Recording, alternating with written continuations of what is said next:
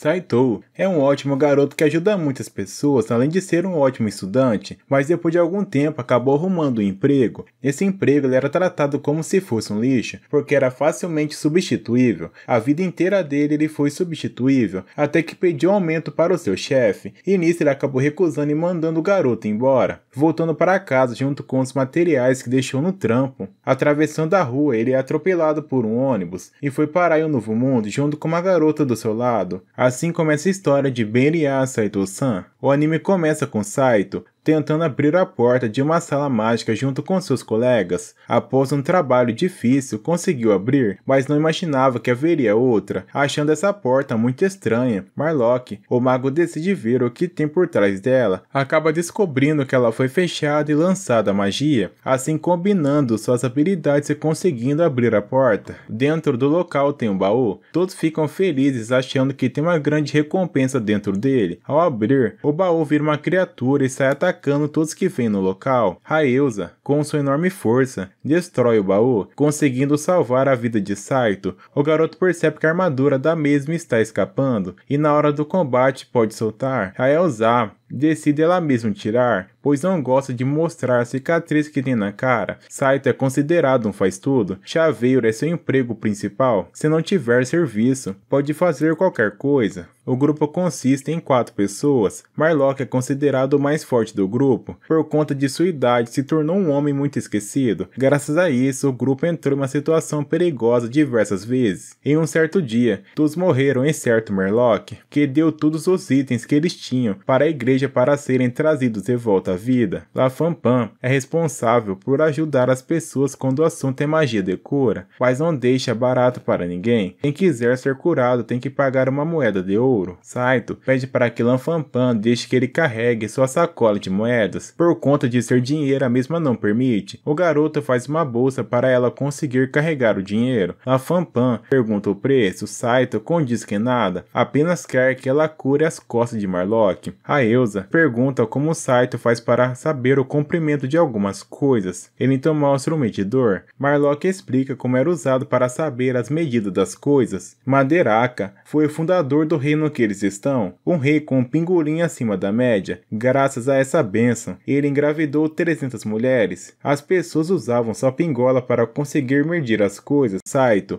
gosta de ficar na loja de sua amiga. Lá ele consegue ajudar a fazer diversas coisas. De repente surge Raelza, com uma armadura diferente no conferir a intimidade que Saito está com a outra garota. Porém, descobriu que era a mesma e a chamou pelo nome. Envergonhada, se faz de desentendida e sai da loja. La Fanpan sabe que Raelza gosta de Saito, então sempre quando tem oportunidade vai junto para tentar ajudar. No dia seguinte, todos vão para a mina derrotar algumas criaturas. Todos juntos conseguiram derrotar diversos Globins, porém Raelza derrotou tantos que já não estava aguentando mais ficar em pé. Saito começa a achar que se tornou um fardo por conta da única coisa que saber fazer é abrir portas. Então pede ajuda para Marlock. Após dias e dias treinando, Saito descobriu que não tinha aptidão para usar magia. Os Globins estão ficando cada vez mais furiosos, porém, Marlock esqueceu como se faz os seus encantamentos. Saito tem uma ótima memória, então decidiu memorizar todos os encantamentos e dizer os nomes quando Marlock precisar, assim derrotando as criaturas. Após fazer isso, Saito upou para o level 10. Suas habilidades é de faz tudo e assistente de mago. Ao chegar até o último andar, Saito encontrou um baú que aparentemente tem alguns itens. Abrindo o mesmo, uma armadilha apareceu, assim abrindo um buraco no chão e atacando mesmo para longe. Saito acabou quebrando a perna com o impacto da queda. Deitado, sente que é um lixo igual era no outro mundo. Seu emprego era completamente substituível. Constantemente era humilhado pelo seu chefe. Saito já tinha perdido as esperanças até que seus colegas do grupo apareceram. Eles jamais o abandonariam, pois se fosse com eles, Saito iria ajudar. No dia seguinte, eles decidiram derrotar o Maindra. Marlock usou um de seus poderes, enquanto Saito ficou balançando a espada de um lado para o outro, até que conseguiu derrotar a criatura. Saito fala que Hydra tem uma ótima carne se for preparada de maneira maneira certa. A Elsa fica com ânsia de vômito só de pensar em comer essa carne. Saito coloca a brasa e deixa a carne tostar até ficar douradinha, colocando alguns temperos. Enfim, ficou pronta. Marlock e Lanfampan resolveram experimentar e acharam maravilhoso. A Elsa continua não querendo experimentar a carne da Hidra, até que Lanfampan dizer que foi Sato que preparou. Ela resolveu dar uma chance e achou maravilhoso. Saito está mais esperto na questão do baú. Começou a ver as linhas dentro e fora do baú. Porém, tem vezes que ainda dá ruim e acaba ativando a armadilha, que derrete a armadura de Raels e mostrou seu lindo corpo. No castelo, diversos soldados se rebelaram contra o rei por conta do tesouro, assim esperando ele sair para conseguir a chave e roubar. O braço direito do rei ficou no lugar e transformou eles em pedra. No dia seguinte, o novo homem que irá assumir o posto, já que o antigo comandante foi transformado em pedra, chegou no castelo. Todos estavam enganados,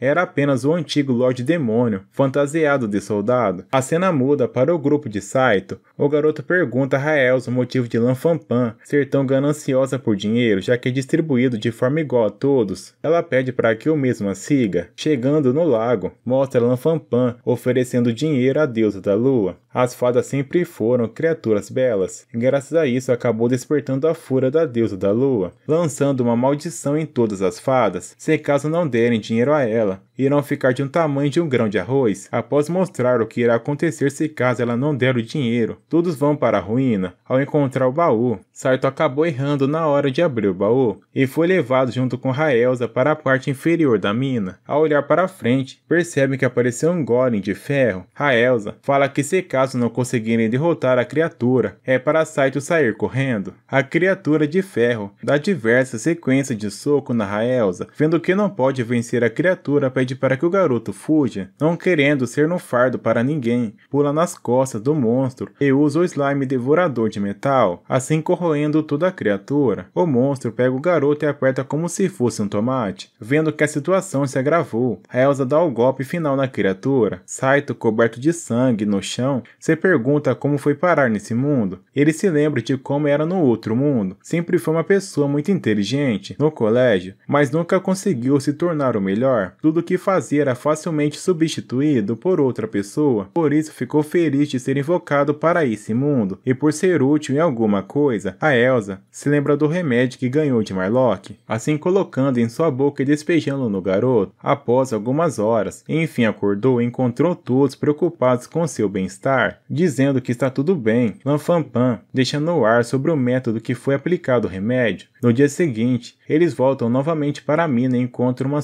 sucubus. Já que Saito não tem poder mágico, ela conseguiu seduzir o garoto com muita facilidade. Ao pegar na mão da sucubus, Raelsa fica com muitos ciúmes e parte para cima do monstro. Porém, o feitiço não acabou. Ao ver Raelsa, Saito partiu para cima para não rolar um beijo. Lanfampan tirou o feitiço do garoto, mas pergunta a Raelsa se deveria ter deixado. Caminhando, eles acham um local se caso uma pessoa usar armaduras de metal é atingida por raios. A Elsa é a única pessoa no grupo que contém metal. Saito dá roupa para ela passar. Arlok acabou esquecendo da magia e pisou sem querer assim tomando um choque venenoso. A cena muda para pessoas escolhendo o um novo herói, já que o Lorde Demônio não está surgindo. Escolheram qualquer um e colocaram no poder, assim desativando a trava que finca a espada na terra e o garoto acabou se tornando. Agora é a vez de encontrar a feiticeira para o grupo do herói. Todos os encantamentos da garota são de nível mediano. Ela é muito ruim com encantamento de gelo e só foi escolhida por ser fofa, mas a garota não quer enfrentar criaturas fortes e recusa todos que vêm. E por último, o sacerdote. As habilidades também são baixas e mediana, e só foi escolhido por conta do seu tio ser uma das pessoas que escolhem. O grupo é considerado muito fraco. Depois de cumprirem a missão, eles fazem coisas que casados fazem, enquanto o sacerdote fica só olhando, lendo diversos livros, até encontrar um trancado. Após destrancá-lo, percebe que tem uma coisa suspeita, do formato de uma pomba. Marlock usa essa coisa para se satisfazer. Esse produto se tornou muito viciante entre os consumidores, tendo que depois de um tempo se tornou um produto regulamental, tentando cortar algumas partes do dragão. Taito quebrou uma de suas ferramentas. Marlock fala que tem um homem chamado Doinban, um homem que ouve a voz do aço, Um anão que cria de tudo, desde armadura para gente pequena até escudos para gigante. Infelizmente, os clientes achavam um preço muito caro, então ele se trancou em uma caverna a 508 chaves de Doimbaim. Saito conseguiu destrancar a porta com muita facilidade até beberam juntos. No dia seguinte, o garoto acabou pegando um resfriado. Saito se acha inútil, então acha que não faz diferença em campo de batalha, mas nas ruínas ele é uma pessoa que lembra Marlock de usar encantamentos. Protege Lanfampan, além de preparar armas reservas para Raelza. Depois de dias sem Saito no grupo, todos ficaram doidos e o chamaram de volta o quanto antes. No dia seguinte, Saito fala com sua amiga da loja de armas, que no seu antigo mundo trabalha muito para ganhar pouco e quando decidiu pedir um aumento, foi demitido sem direito a nada. Atravessando a rua, foi atropelado e levado para esse mundo. Jantando, o garoto fala que gostaria de ter a armadura do monstro de ferro, então todos foram para a mina. Ao chegar no local, infelizmente não encontraram nada, e se caso não achar nenhum tesouro, irão ficar no vermelho. Saito encontrou uma coisa do seu mundo, um aspirador de pó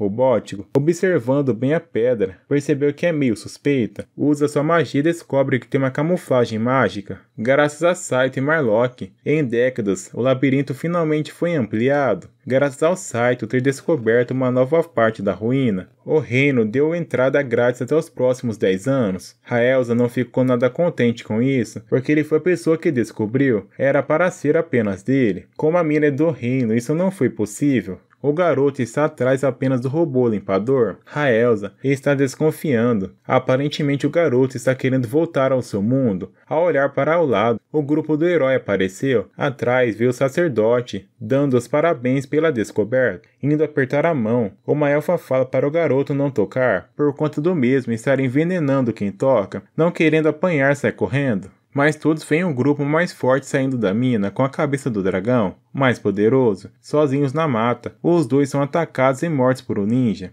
Homem com armadura dourada é o ex-Lorde Demônio. Por sorte, eles ativaram o poder de teletransporte e foram até um homem que consegue usar magia de cura. Por ter sofrido danos graves, o ex-Lorde Demônio terá que esperar duas semanas até recuperar por completo. No labirinto, o grupo de Sartre está passando por mal bocados. Marlock foi atingido pelo veneno da criatura e caiu de sono. Mesmo contra-atacando, seus oponentes são incapazes de fazer qualquer ferimento. De repente, aparece Lilisa, caçadora de monstros mágicos, já que a garota derrotou a criatura pede baú para ela. Todos aceitam, mas na hora de abrir o baú, o companheiro da mesa não consegue, então Saito abre e divide o tesouro com todo mundo.